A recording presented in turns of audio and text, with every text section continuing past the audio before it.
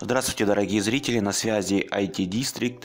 И в сегодняшнем видео об Android разработке мы познакомимся с первым виджетом, который называется Text View. Этот виджет необходим для отображения какого-либо текста. Для создания этого виджета в созданном Activity, то есть в созданном экране Android приложения, в XML верстке, во вкладке не дизайн, вот вкладка дизайн, я ей не люблю пользоваться, есть вкладка текст мы спускаемся чуть ниже нашей, нашей прослойки Constraint Layout. Для создания нужно ввести сначала знак тега, а затем нужно ввести текст view. Так как у меня, нас, мы, так как мы работаем в пакете Android X, то нам нужен вот этот виджет App Compate Text View. Вот он, App Compate Text View. Кликаем табуляция, и он у вас автоматически создается. Для начала нужно определить его ширину. Ширина у нас будет во весь экран, поэтому мы вводим match parent. Вот, атрибут width это ширина, мы ввели match parent, значит во весь экран. Если вам нужна ширина по контенту, то в зависимости от того, какой контент, то есть какое содержание у него, чтобы он его облегал, чтобы текст view облегал свое содержание, то ставьте в wrap контент, то есть по контенту, либо фиксированную сумму, там, например, 100 dp, но это подобно пикселям в, при создании сайтов, да, только пиксели на разных экранах выглядят по-разному, а DP это такая уникальная, уникальная единица измерения на всех экранах выглядит одинаково. Ну, я такой единицей, как DP, редко пользуюсь, в основном Match Parent или Wrap Content, то я поставил Match Parent. Кстати, тут справа есть превью, вкладка, кликаем, чтобы посмотреть, видеть, как у нас все это будет выглядеть. Теперь, э, следующий атрибут, который автоматически создался, это высота. Высота у нас будет вот как раз таки по контенту. Поэтому я ввожу в wrap контент и табуляция. Итак, теперь нужно нам поставить тег закрытия этого виджета. Все, что нужно сделать, это в конце второго автоматически созданного атрибута поставить слэш, и он автоматически закрывает. Но как вы видите, он у нас подчеркнут красным, то есть есть ошибка. Так как он у нас входит в оболочку Constraint Layout, нужно задать координаты. По горизонтали не нужно задавать, горизонт... Э, не нужно задавать координаты, так как он растянулся на весь экран. Но по вертикали нужно задать координаты. Поэтому, поэтому нам нужно добавить еще один атрибут. Давайте вот этот закрывающийся элемент виджета вот вниз спустим, да, и продолжим настраивать наш text view. Спускаемся ниже, после настройку, после определения высоты и, и обращаемся к библиотеке Constraint Layout. Для этого вводим app, ставим двоеточие и нужно установить местоположение нашего виджета. Мы его будем располагать верхнюю часть нашего виджета к верхней части экрана, то есть к верхней части прослойки, то есть к верхней части. Для этого мы вводим layout, constraint, top to top, то есть верхнюю часть нашего виджета относим, присоединяем к верхней части экрана и указываем значение parent. Все, он у нас, видите, уже не подчеркивается красным. Теперь, значит, самое важное, в чем предназначается, самое важное предназначение этого виджета, это в размещении текста. Давайте разместим текст. Для этого вводим, обращаемся к библиотеке Android, то есть вводим ключевое слово Android и вводим название атрибута текст. Вот, текст. Нам нужно ввести текст. Да, мы можем, конечно, просто ввести какой-то текст, и сейчас я увеличу для вас. Видите, он появится здесь. Но это, так, так сказать, правило поведения некорректного кода. Да, по правилам чистого кода в Android нам нужно текст вставать, вставлять, вставлять в ресурсах. Для этого есть папка value, здесь есть папка, здесь есть файл string. Вводим, входим, и тут нужно создать первую ссылочную, первую, первую строковую ссылку. Ну, то есть, как бы я вам сейчас расскажу. Мы должны ввести string, и видите, автоматически создается с, с, новая ссылка. Мы должны ввести имя, по которой будем идентифицировать эту надпись. Введем сейчас, ну, допустим, my address, да, типа мой адрес. Закрываем, то есть тег, как только закрыли тег, появляется закрывающая часть этого тега, и здесь нужно ввести тот текст, который мы будем отображать в text view. Давайте введем адрес нашего дома. Итак, мы ввели контент, сейчас приблизим это, теперь возвращаемся обратно в то activity, где мы ввели наш э, текст, да, и просто все, что... Сейчас удалим отсюда текст. И все, что нужно сделать, это просто ставить ссылку на наши ресурсы. Для этого все, что нужно сделать, это ввести имя нашей ссылки. Какое имя? Давайте вернемся в стринговые ресурсы. My address. Вводим my адрес. Видите, появляется подсказка, вы, высвечивается наш, наш ресурс. Можно либо кликнуть и также нажать табуляцию, либо просто табуляция. И давайте увеличим. И видите, все, все отлично отображается. В чем преимущество? Смотрите, допустим, вы ввели, ввели какой-то текст, сделали приложение, но позже вам стало необходимо, ну, возникла такая необходимость поменять этот текст. И, допустим, есть такая ситуация, что этот текст у вас расположен сразу в нескольких экранах. И вы можете, вы начнете заходить в каждый экран и править. Во-первых, это долго. Во-вторых, вы можете пропустить и где-то этот текст не, поменя, не, не поменяете, да, не, не подредактируется, и будет ошибка в этом. А если вы завели как в ресурсах, то все, что вам нужно сделать, это зайти в ресурсы и вот здесь его поменять, и в итоге он, он поменяется во всех остальных экранах. Это вот в этом большое преимущество и всегда пользуйтесь, пользуйтесь ресурсами. Также, ну, текст какой-то бледный, давайте я вам еще раз увеличу. Посмотрите, какой бледный текст. Ну, это как-то некрасиво. Давайте сделаем его красным.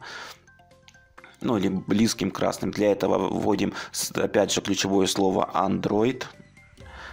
И вводим атрибут text color.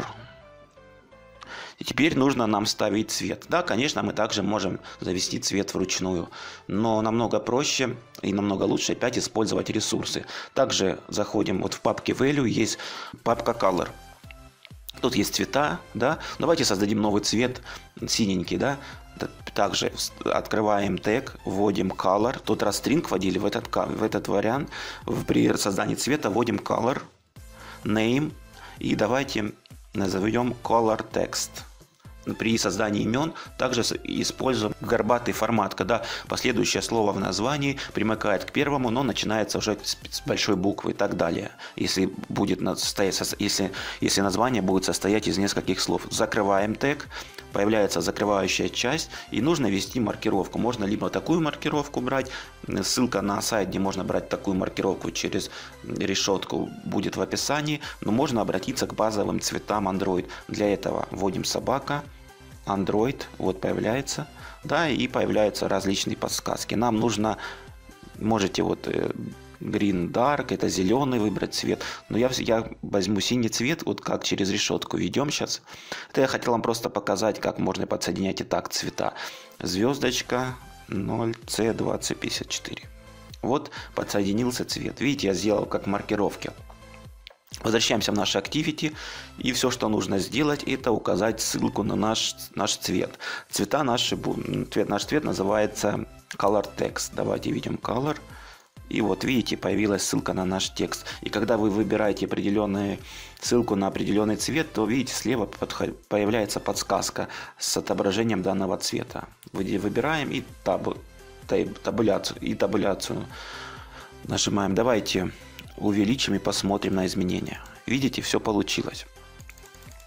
Теперь текст нужно сделать жирным, да, нам, допустим. Для этого вводим Android и должны, и мы указываем атрибут text style. Указываем атрибут text style. Вот он, этот атрибут.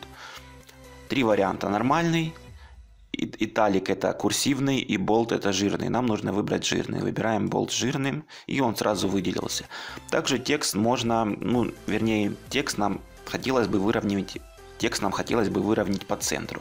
Давайте для этого, давайте для этого вводим ключевое слово Android и нам нужно ввести слово и нам нужно и нам нужно ввести название атрибута gravity.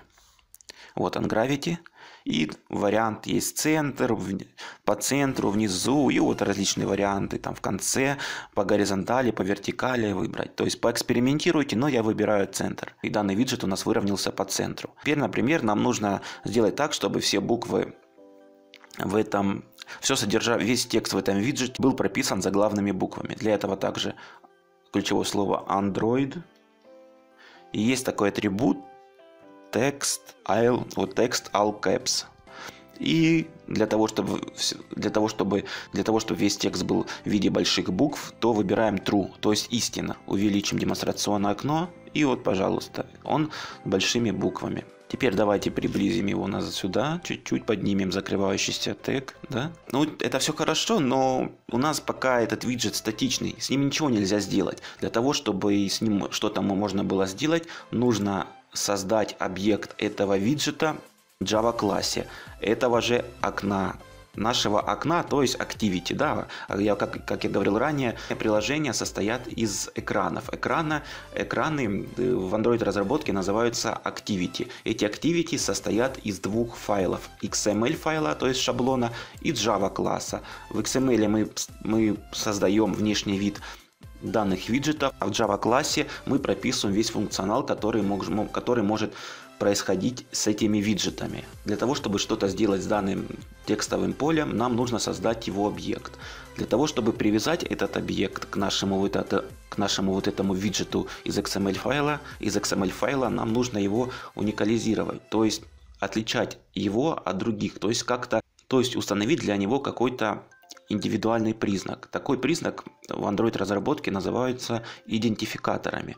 Для создания, для того, чтобы отнести к данному текстовому виджету конкретный идентификатор, нужно, созда нужно создать специальный атрибут. Итак, этот атрибут указывается, как правило, самым первым. Для этого вставляем строку, а, вводим ключевое слово Android, вводим название атрибута ID, нажимаем табуляция, вводим, видите, у нас сразу подсказка идет, но если подсказки нету, то запомните, мы вводим собака плюс ID, ставим слэш и вводим какое-то уникальное название.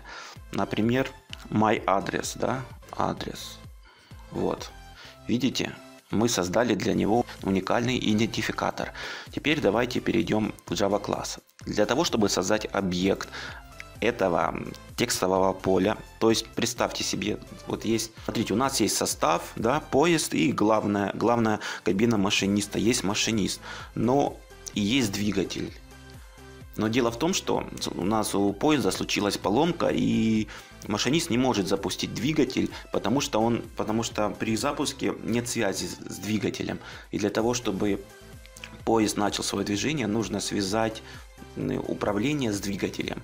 Вот представьте, здесь та же самая структура. Для того, чтобы что-то применить к этому виджету, его, для него нужно создать объект, который привяжется к этому виджету, и через этот объект мы будем влиять на этот виджет. Для того, чтобы создать объект. Снова вспоминаем прошлый урок, э, который, в котором я рассказывал про перемены. В первую очередь переменную нужно создать. TextView по факту это та же переменная. Вам нужно создать переменную, считайте TextView, но в Android разработке она называется как объект. Для этого мы должны ввести тип переменной, то есть тип виджета. Для этого мы должны ввести текст. У вас выходят подсказки. Выбираем наш виджет, не text view, потому что у вас выйдет ошибка, потому что мы создали виджет типа AppCompate потому что у нас пакет Android X. Выбираем этот этот тип. Затем ставим пробел и вводим название. Называть объекты виджетов лучше всего идентич, именем, идентичным его ID. То есть my address у нас ID-шник. Давайте скопируем ID-шник. Назов... Вообще название может быть любым, но со стороны логики лучше всего так делать. И вставляем название. Все. И вставляем название и ставим точку запятой.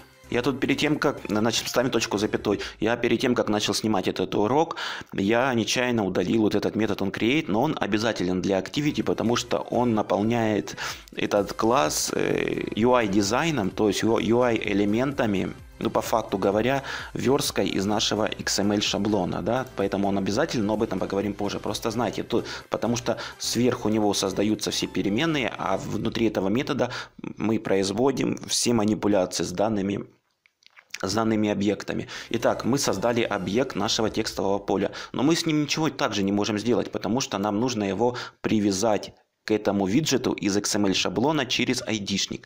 Для этого, для того, чтобы привязать объект к объект к XML шаблону нужно произвести следующие действия. Мы теперь уже вспоминаем также предыдущий урок. После того, как мы объявили переменную, мы можем уже применять к ней какие-то действия, уже обращаясь по имени. То есть поэтому, поэтому мы вводим название объекта my адрес. Он уже, видите, вас, вам, вам Android Studio уже подсказывает. Ставим равно, то есть оператора присваивания, и нужно ввести метод findViewBid. Вот он у вас финт вводите, и уже подсказка выходит. Этот метод позволяет привязывать виджет из XML шаблона к Java классу. И теперь все, что нужно делать, и теперь все, что нужно сделать, это обратиться к нашему виджету из XML шаблона Заметьте, вот из этого XML шаблона, поэтому он указывается в данном методе, чтобы мы, э, чтобы мы могли связываться именно с этим шаблоном. И для, так, для связки с айдишником мы вводим букву R, Буква R обозначает ресурсы, то есть все вот эти строки, стили и также шаблоны. Видите, вот папка res, то есть ресурсы, в нее входят и изображения, и папка layout. А папка layout содержит activate, activity main. То есть папка layout содержится все наши, содержит наши все XML шаблоны. Поэтому через через вот этот большой символ R мы обращаемся к этой, папе, к этой папке ресурсы, затем ставим точку, это значит переход глубже на следующий уровень, вводим, вводим, вводим ключевое слово ID, так как мы обращаемся к айдишнику, ставим точку и должны теперь указать наш айдишник. Вот нам подсказывают, уже видите, вторая строчка это наш айдишник my address. Вводим my address и ставим точку запятой. Все, видите, у нас все выделилось фиолетовым цветом, и уже наша, наш созданный объект сверху также выделился фиолетовым цветом. Пожалуйста. И теперь давайте сделаем следующую. Теперь мы можем делать все, что угодно с нашим текстовым полем. Например, давайте я, конечно, забегу чуть-чуть вперед, но, допустим, мы не установили цвет текста и самое, мы не установили название текста. Давайте удалим этот атрибут, да, и давайте я вам увеличу, чтобы вы все видели. Нету текста, ну потому что мы не ввели его текст. Также этот текст мы можем задать не из XML шаблона, а прямо из Java класса. Смотрите, для того, чтобы что-то сделать с данным текстовым полем, нужно обратиться к его объекту. Название объекта myAddress, вводим myAddress, видите, ввели и дальше для того, чтобы с ним что-то сделать, то есть применить к нему какие-то методы, нам нужно поставить точку. Это будет, это, это у нас значит, это у нас будет символизировать, что мы обращаемся к этому объекту и вызвать, и вызвать метод, и вызвать метод set, set. Значит, смотрите, классические методы делятся на два типа. Это сеты и геты. Метод set и метод get. Между разработчиками принято их называть сеттерами и геттерами. Get возвращает какую-то информацию, set записывает какую-то информацию. Нам нужно записать текст. Мы, мы должны выбрать метод setText. Его, его видите, здесь несколько вариаций его использования, вариации его использования, но мы будем вводить имя из ресурсов, поэтому а ресурсы, опять же, вспоминаем предыдущий, предыдущий урок, в котором мы говорили, что бывают типы, какие типы переменных бывают. Бывают строковые да, переменные, бывают числовые переменные. Так вот, вся информация, которая содержится в ресурсах у вас, будь то цвета, строки, будь то либо цвета, либо строки, либо изображения, информация в этих файлах, она воспринимается в Android Studio как числовая переменная, то есть переменная int. Поэтому мы выбираем вот этот метод setText, setText внутри которой лежит int. Выбираем и обращаемся также к ресурсам. r. Точка. Теперь уже наше название лежит в файле string, поэтому мы вводим слово string. Да, ставим точку, и у нас выходит, выходят подсказки различные. Да? И внизу вот название нашей строки нашей строчки My Address. Пожалуйста. Теперь давайте также мы уберем цвет. Ну, не, не написали мы цвет, да?